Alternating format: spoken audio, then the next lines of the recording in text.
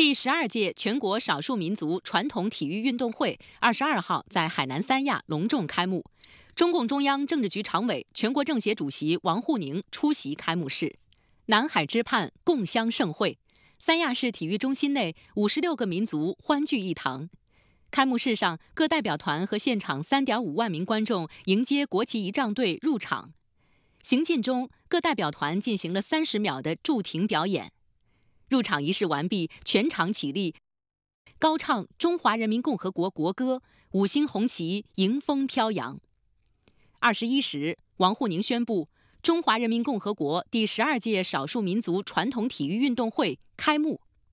之后，以“中华民族大家庭同心圆梦新征程”为主题的文体展演拉开序幕。展演分为“天下一脉，中华一体，团结一心”三个篇章，展现了各族儿女牢固树立休戚与共、荣辱与共、生死与共、命运与共的共同体理念，团结奋斗，扬帆新征程，共圆中国梦。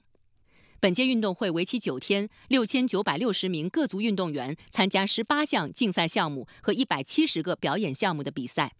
开幕式前，王沪宁会见了运动会组委会全体成员、各代表团代表和运动员代表，参观了中国少数民族传统体育文化展、海南全面深化改革开放和中国特色自由贸易港建设成果展。他表示，要深入学习贯彻习近平总书记关于加强和改进民族工作的重要思想，坚持团结奋进，当好筑牢中华民族共同体意识践行者；坚持守正创新，当好中华优秀传统文化弘扬者；坚持凝心聚力，当好中国式现代化建设者，激励各族群众为强国建设、民族复兴共同奋斗。石泰峰出席上述活动。